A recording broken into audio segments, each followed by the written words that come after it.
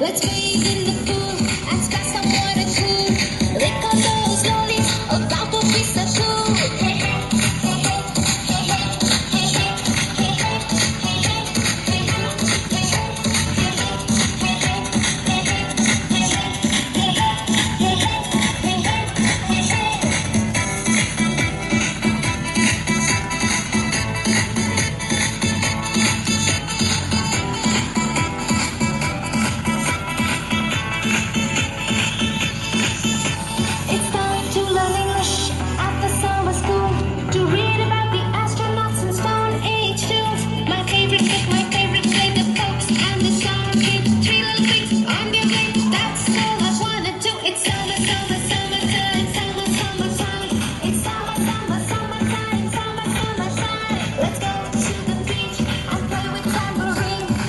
Some pictures clicked with